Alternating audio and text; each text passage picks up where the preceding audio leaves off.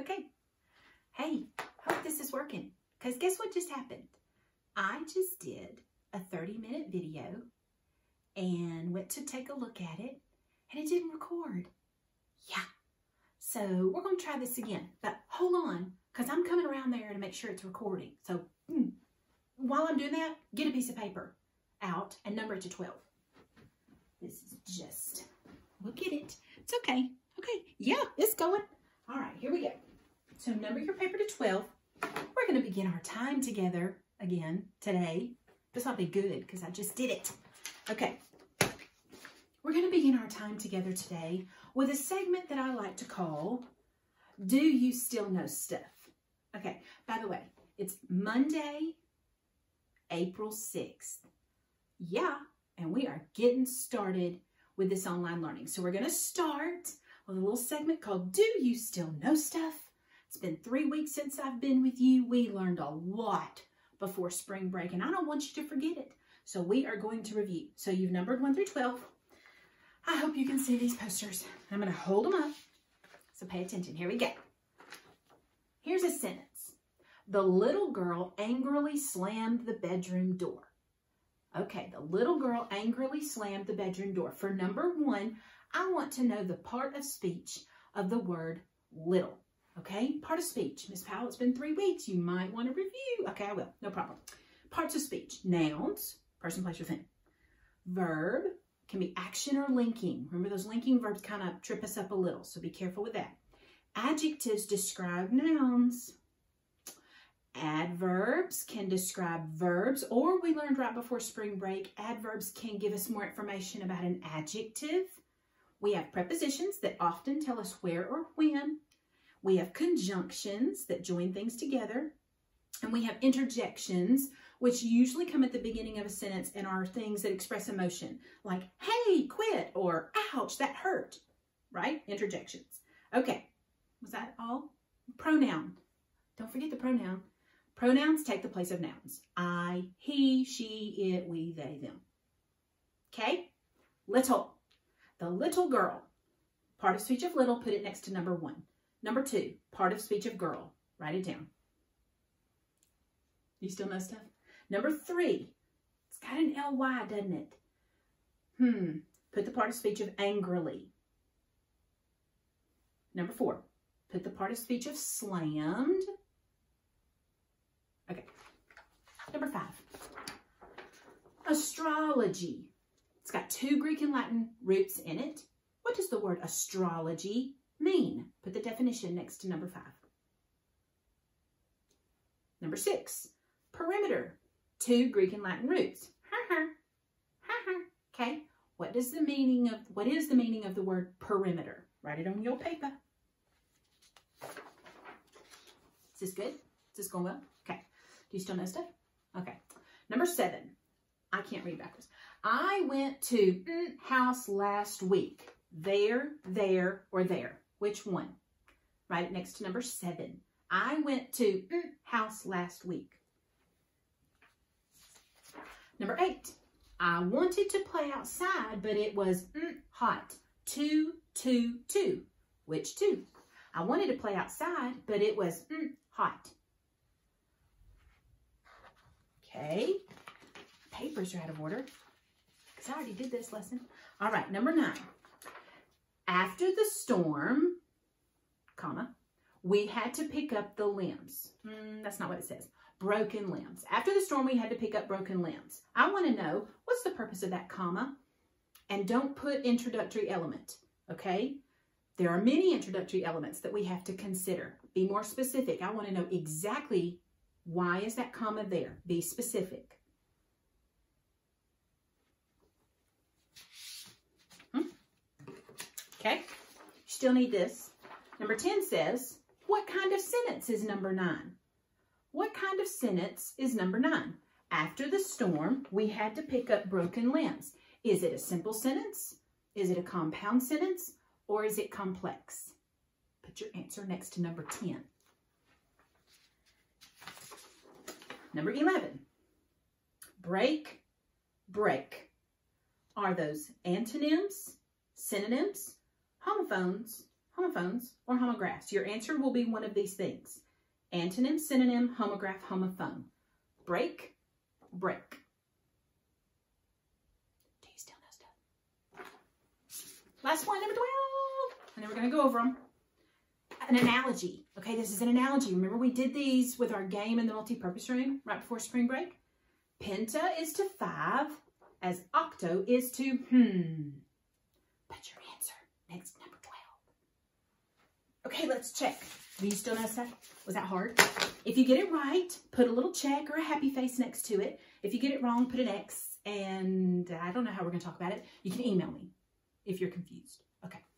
All right. Number one, the little girl angrily slammed the bedroom door. Little is an adjective. You should have put adjective next to number one. It is a describing word, and it's describing the word girl. So number two, girl is a noun. If you got it right, put a check. If you got it wrong, put a, uh, let's see, check or happy face if you got it right. X if you got it wrong. Or fix it, erase it, put the right answer. Nobody knows. I can't see you. Okay? Angrily is an adverb because it tells how she slammed the door. Angrily, number three, is an adverb. Number four, slammed is a verb.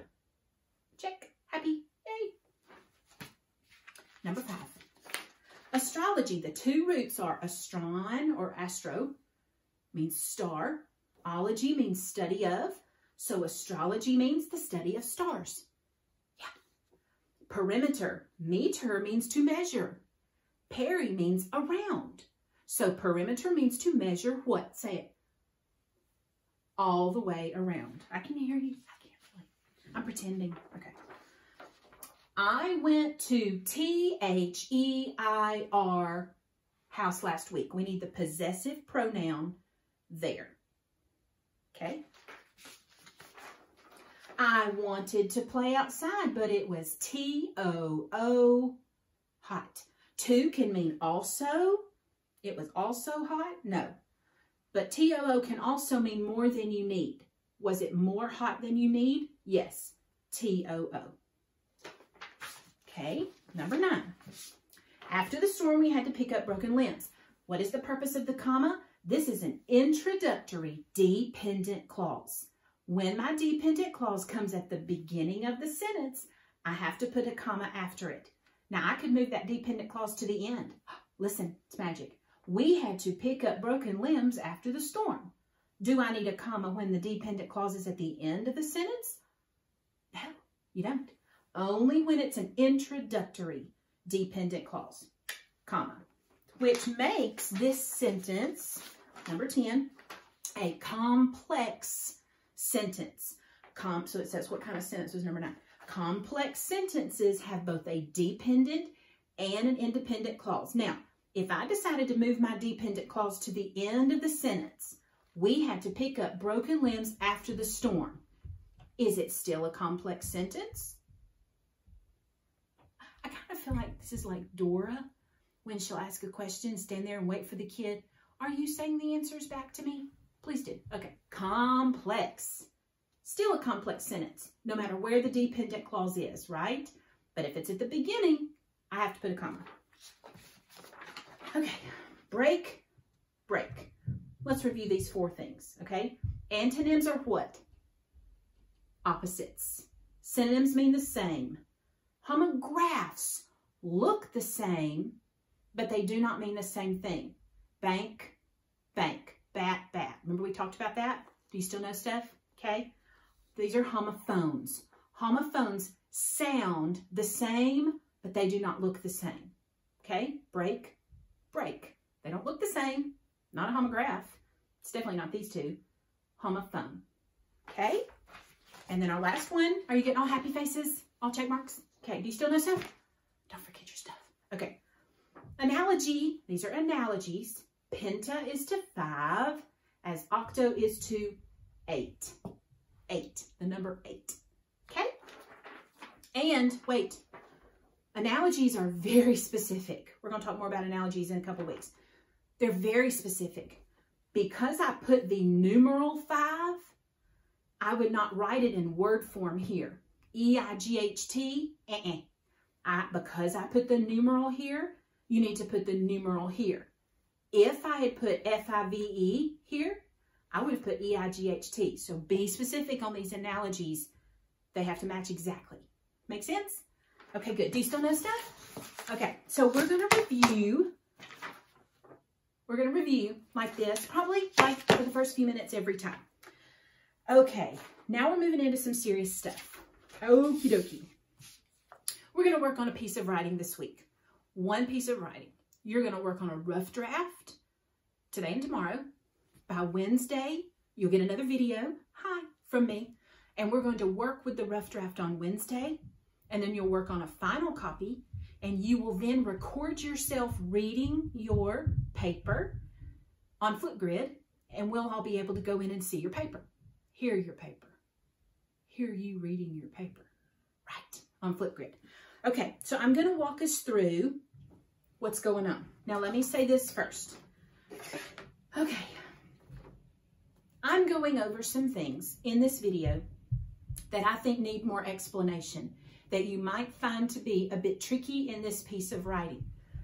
Included with, wherever you, on Google Classroom, where you found this video, you will find a document. And I'm holding it because I printed it. Not, not be a bad idea if you have a printer to print it out, okay? But I have given you tips and steps and bullets for every paragraph of this essay. Okay, it's going to be a five paragraph essay. You can do it. Don't worry. Don't be sad. Don't walk away. Come back here. Sit down. It's just fine.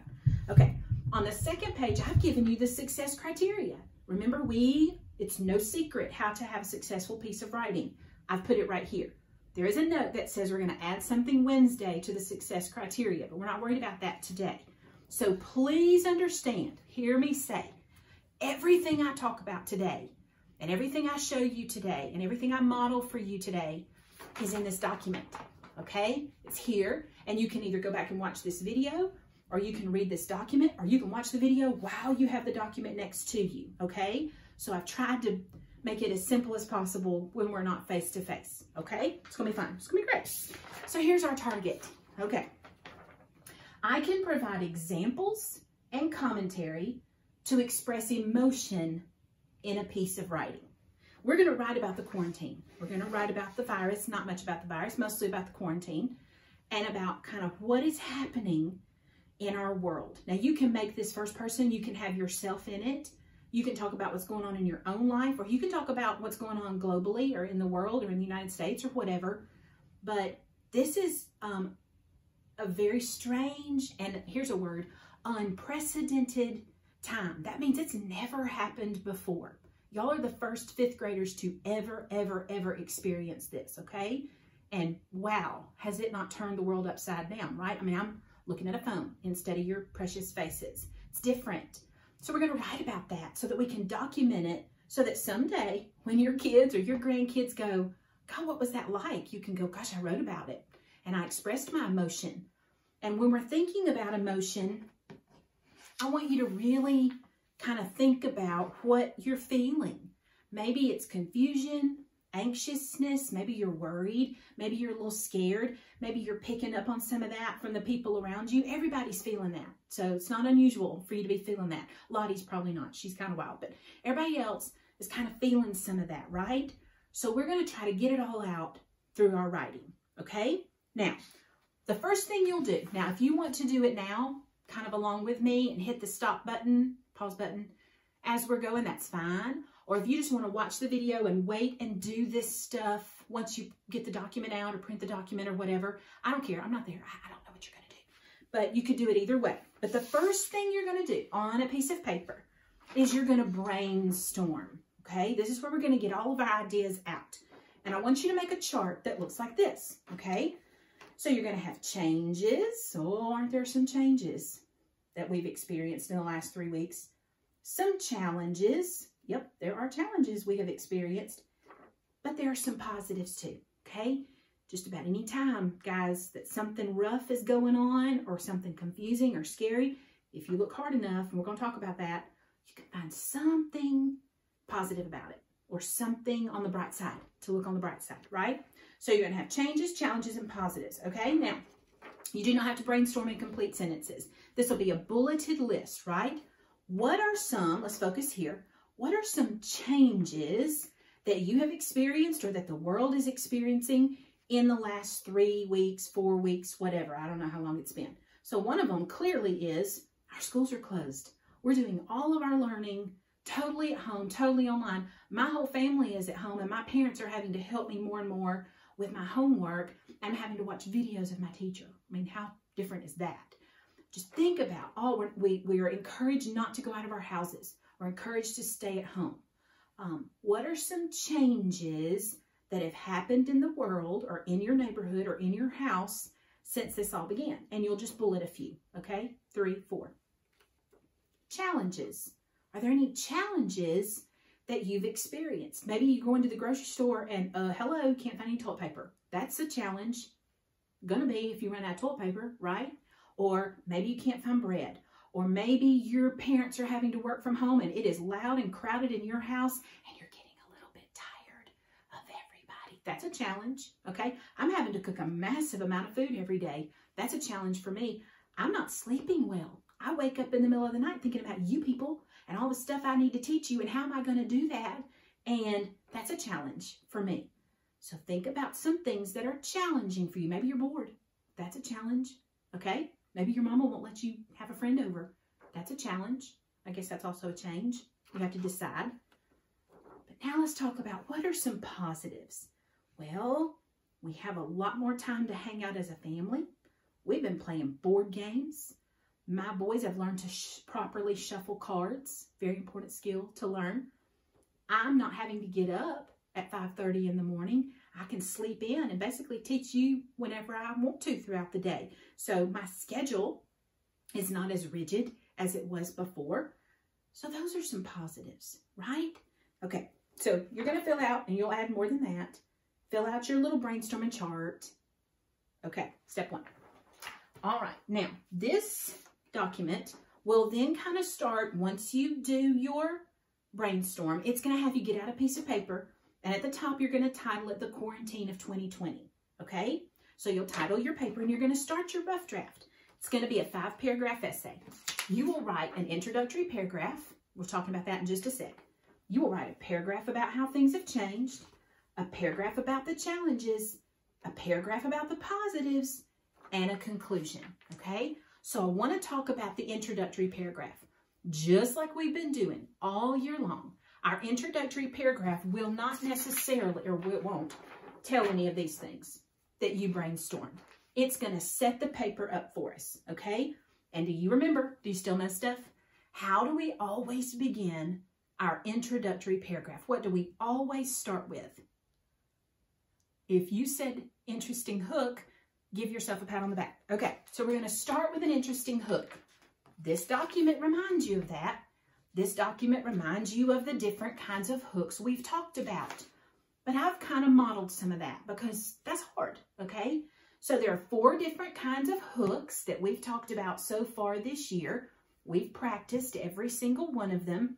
You'll choose one. You're not going to write all four of them. You'll choose one. Remember, the hook is going to draw the reader in. Nobody wants to read something that's what? Boring. Okay, right. So we want to make it interesting and we want to hook them in so that they want to read the rest of our paper, okay? So we can have a list of adjectives or nouns. We could ask a question. We could have a description or we can have a quote. All right, I'm going back. We can have a list of adjectives or nouns. Maybe you'll start, that'll be your hook. Here's a model. Here's an example. Can't use mine. Don't be a cheater, okay? Here's mine. Fear, worry, frustration, and confusion. Many people are experiencing these things right now. Okay, a list of words. You start with a list of words and then kind of explain, right? All right, we could ask a question. A lot of you like to start that way. We could ask a question. Here's my example. Did you ever imagine a time when the whole world would be shut down? Well, if I'm a reader and I'm reading that first line, I'm like, what? The whole world got shut down. Why? I'm going to keep reading, right? Okay. Description empty grocery shelves, vacant streets, abandoned schools, and quiet masked people coming and going. These are common sights these days. Now, if I read that, I'd feel like I'm reading some sort of science fiction novel or something, right? But that's the real world right now, isn't it? That's the world we're living in. It's so unusual. So you might start with a list of things you're seeing or description of things that are going on. Very neat. Okay. I don't know if neat's the right word. Anyway, okay, quote. I don't know that many of us, some of you in your research paper started with a quote. We haven't practiced this one as much. But if you turn on the news or if you watch the little ticker at the bottom of the news, you're going to see quotes of things that the president has said or the doctors or Dr. Fauci, who is one of the lead people on the task force. They are saying some of the same phrases over and over, right? So those would be interesting quotes to use. Um, one I've heard over and over is facts, not fear. They want to tell us what's going on in the world, but they don't want to scare us, right? So that's an interesting quote. I chose, this used to be 15, but they just moved it to 30. 30 days to stop the spread. They're telling everybody, stay home for 30 days and the virus won't spread as bad, right? So that's a quote they keep saying over and over. Notice, because I'm using a quote, I put it in quotation marks. Can you see that? I don't know. Okay, I did. Put it in quotation marks. 30 days to stop the spread, quotation marks. We've all been given requirements and conditions to stop this virus. Now, those would just be your hook, right? Your first one, two, three sentences in your paragraph. Then you're going to take some time in that introductory paragraph, two sentences maybe, no big deal, to tell what it is you're talking about. What does that even relate to? Well, it relates to the coronavirus, COVID-19, and the quarantine that it caused to happen all around the world. And this document tells you what to do, but you're going to have your hook, and then you're going to spend a couple of sentences talking about what's going on in the world. A virus has attacked hundreds of thousands of people. Okay, again, we're not doing this to be scared. So this is facts, not fear, right? So you're just going to write about, report the facts, what's going on in the world. Okay, now here is the new thing. We haven't done this before, so pay attention. Sit up straight, listen, turn your volume up. Okay, we are going to all have the same topic sentence, and I've written it for you, okay? It's in your document that you're going to open up in a minute, and I'm going to show it to you on a little chart in just a sec. But we're all going to use the same topic sentence. Now, a lot of people, not y'all because you're smart and you know stuff, think that the topic sentence always has to be the first sentence in the paragraph or the first sentence in the essay. Shake your head no. We know that's not true. Our first sentence, hello, is our interesting hook. It's not a topic sentence, it's a hook. It's how we're drawing our reader in. We are going to put our topic sentence, pay attention, as the last sentence of our first paragraph. All right, so we're going to have our hook, one or two or three sentences. We're going to explain what's going on, facts, not fear. And then we're going to have our topic sentence. This will be everyone's last sentence of their first paragraph, of their introductory paragraph. And here it is. I wrote it for you. You will copy it. These confusing days of sickness and quarantine are so unusual and challenging, but if we look hard enough, we can find positives too. I'm going to read it one more time. These confusing days of sickness and quarantine are so unusual and challenging, but if we look hard enough, we can find positives too. Now, what's going to happen? That'll be the last sentence of your first paragraph. So basically, you'll have your introduction. And tucked away in this topic sentence, it explains what my next three paragraphs are going to be about. Okay, look, they're there. Sickness and quarantine are unusual. That's your changes paragraph. And challenging. That's your challenging paragraph. Challenges paragraph. But if we look hard enough, we can find the, what's our next paragraph going to be? Positives. I heard you. I heard you. Positives too. So each of these becomes its own paragraph. We'll have our introductory paragraph. Then this will be the last sentence of the introductory paragraph. We'll skip a line, indent, write our cha uh, changes paragraph. Skip a line, indent, write our challenges paragraph. Skip a line, indent, write our positives paragraph. Skip a line, indent, guess what the last paragraph will be? Introduction, changes, challenges, positives. What's that going to be? Our conclusion. And the document tells you how to do that. Okay? Now, oh my gosh, I think that's it. That's a lot. Again, you can go back and watch this again. You're going to look at your document, you can print it or just look at it, whatever you want to do. tells you exactly what to do. But here's what I need you to do. You have today and tomorrow to work on your five paragraph essay. I would like a rough draft of all five paragraphs by Wednesday. And I want you to bring it with you when you sit down to watch Wednesday's video. Okay? So we're going to do a little stuff, stuff, a little thing to tweak it on Wednesday. Um, and then we're going to write our final copies. And then we're going to put it on Flipgrid, read it on Flipgrid so that we can all hear each other's writing. Now, you're going to need a baggie or a folder at home. Just kind of find one because your precious, wonderful writing portfolios are still in room 406 at Rock Quarry. And I'm not throwing those away because they are full of fabulous writing that you've done all year. So as we work on the next eight weeks, whatever it is, we're going to do one, sometimes two pieces of writing a week. So you'll still be collect. We're still going to do some quick writes. We're still going stuff. We got stuff. Okay, so I want you to save every single thing you do. I want you to put it in a baggie, put it in a folder, because um, if I have to bring it to your driveway and leave it in your mailbox, at some point before you start middle school, everybody's going to get their writing portfolio back. And you'll be able to take all these pieces of writing that you have done here in the last nine weeks of school and put them in your writing portfolio with the rest of your stuff from the year. So I want you to keep up with everything, okay? This is not just, I'm to do it and oh, well, that one's done. No, no, no, no, no. You're to keep up with every bit of it, okay? So, review. Look at the document. Tells you everything. If you have questions, you can email them to me. I'll be checking that. I'm also to be on Google Meet tomorrow. I don't remember what time. Wait, hold on. I have it written down. I'm going to be on Google Meet tomorrow at 9.30. Tomorrow's Tuesday, April 7th. I'll be on Google Meet 9.30 to 10. Um, and I'll push out the code for that. I'll let you know what the code is because um, I don't know that yet. And you can ask me questions there, okay? So if you're confused about anything I talked about or you want to say, hey, will you listen to my hook? Is that okay? Or whatever, we can do that through Google Meet, okay? And then Wednesday, you'll come with your paper, pencil, and your rough draft of your essay. We're going to do some other things on Wednesday, and then you'll have the rest of the week to finish it up and then have it ready to go on Flipgrid on Friday. Okay, guys, that's a lot, but you'll do great. I'm proud of you already. You haven't done anything. I'm already proud of you, okay? I'm going to use my doodad and turn you off. Again, email me with questions. I'm thinking about y'all, and this is good. We're going to do great. Y'all are awesome.